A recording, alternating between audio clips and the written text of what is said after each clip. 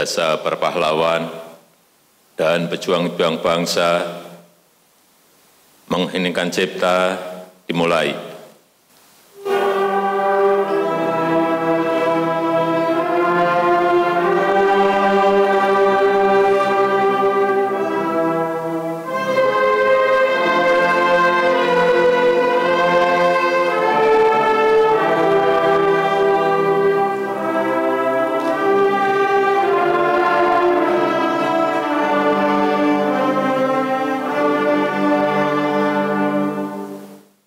Menganugerahkan tanda kehormatan Bintang Mahaputra Adi Pradana kepada Jenderal Polisi Purnawirawan Dr. Andes Badrudin Haiti, mantan Kepala Kepolisian Negara Republik Indonesia, sebagai penghargaan atas jasa-jasanya yang luar biasa di berbagai bidang yang bermanfaat bagi kemajuan, kesejahteraan, dan kemakmuran bangsa dan negara.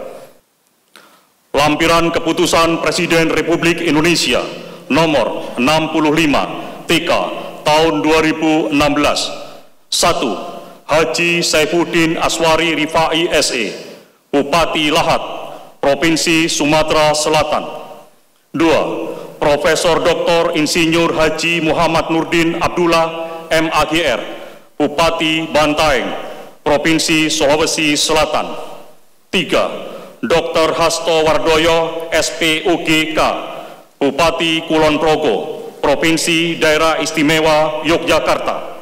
4. Dr. Andi Eka Syakya, MN, Kepala Badan Meteorologi, Klimatologi, dan Geofisika. Masing-masing dianugerahi tanda kehormatan bintang jasa utama. Lampiran Keputusan Presiden Republik Indonesia nomor 66 TK tahun 2016. 1. KGPAA Mangkunagara 7 Almarhum Raden Mas Suryo Suparto Pelestari Budaya Jawa Musik dan Drama Tradisional 2. Taufik Ismail Sastrawan Penyair 3. Dr. Honoris Causa Marta Tilaar Pelestari Jamu dan Herbal 4. Profesor Dr. Ahadiati Ikram, ahli pakar filologi, masing-masing dianugerahi tanda kehormatan bintang budaya Parama Dharma. Presiden Republik Indonesia Joko Widodo. Pemberian ucapan selamat oleh Presiden Republik Indonesia dan Wakil Presiden Republik Indonesia diikuti oleh undangan lainnya.